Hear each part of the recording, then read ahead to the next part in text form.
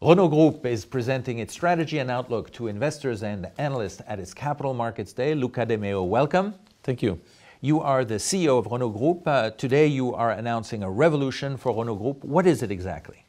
We have always been working on, you know, on a relatively well-known value chain. So you where you had four or five years of development, then seven, eight years of distribution and manufacturing and distribution, and now the whole thing is exploding. So you have you know EV coming in, you have software, you have mobility platforms, so new services, you have uh, circular economy, etc., etc. So it's like you know moving from doing one discipline like playing soccer for 100 years, and then now you have to do five different, completely different sports.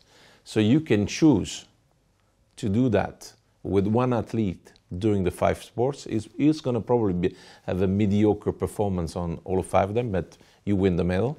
Or you decide to win five medals, and then you get five athletes, you know, with different skills, different talent, different training, different diet, whose performance is measured also in a different way, to play each one of them. And that's what we are doing. So we are specializing, focusing a group of people on business oriented to the future with high growth and high profitability. So we do Ampere, so we create Ampere, is the first uh, full-fledged EV and software company coming out from the disruption of an incumbent, let's say, OEM.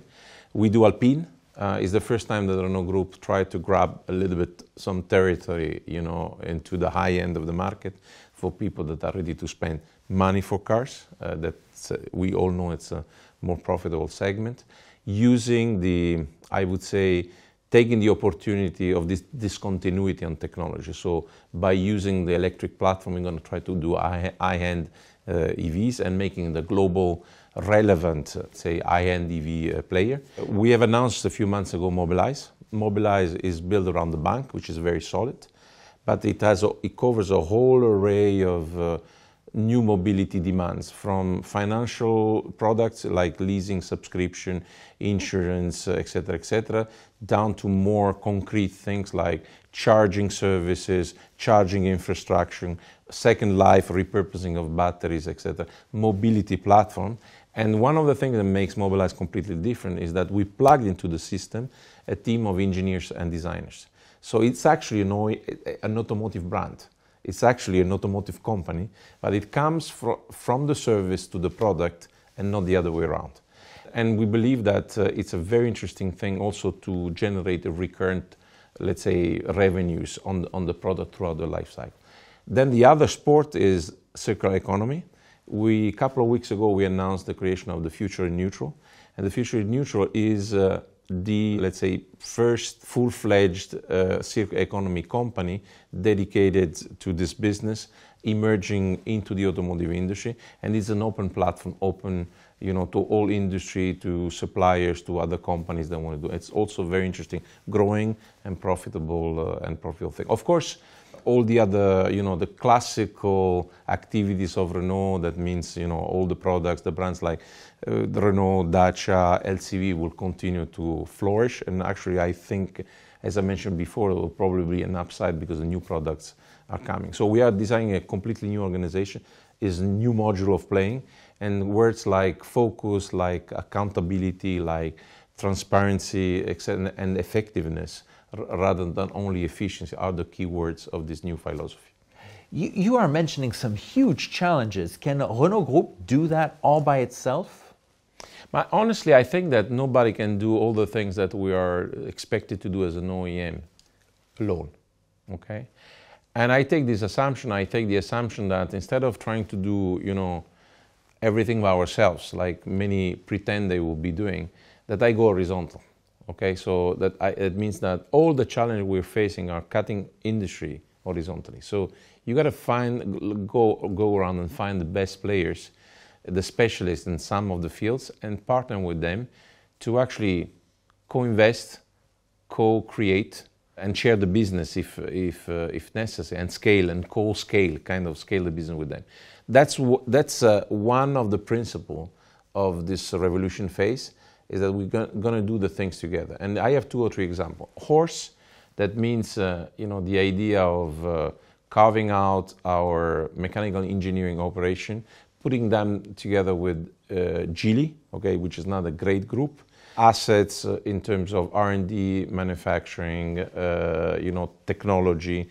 Will when you do this, you actually double the scale immediately. Okay, day one, and uh, you have a you have a player that is like 15 billion revenues, so it's comparable to one of the biggest uh, tier ones, and is there to supply engines to anybody who wants our technology.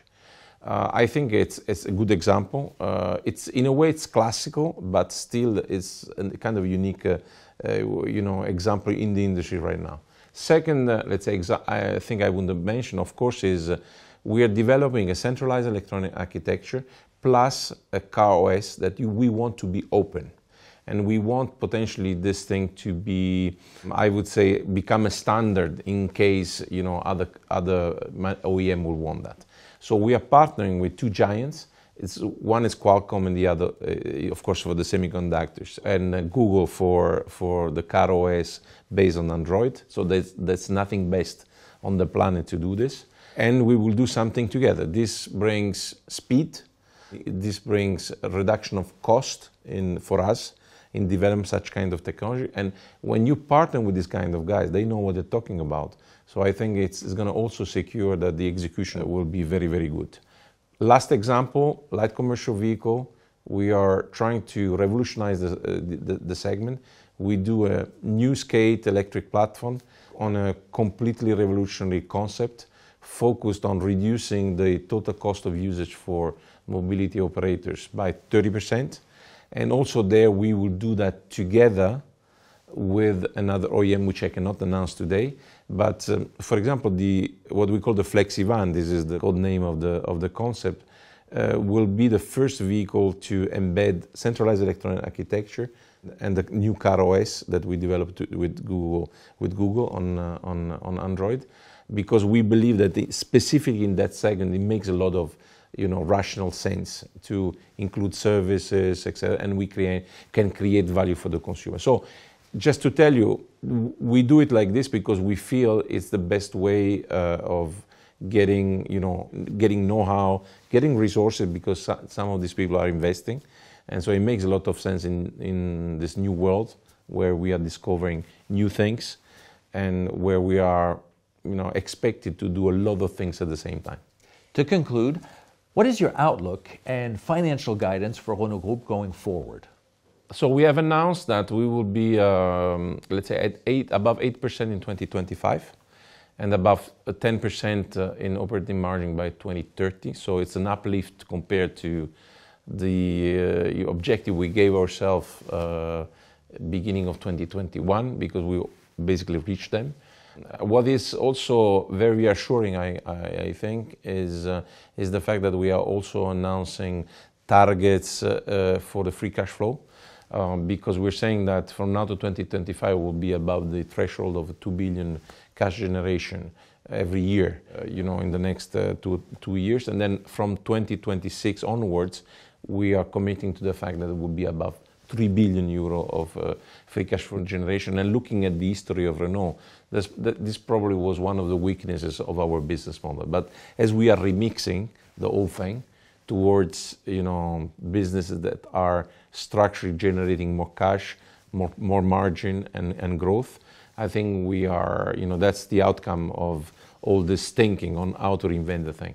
ROCE will be very high, uh, so above 30%, as I mentioned before. Luca De Meo, thank you very much. Welcome.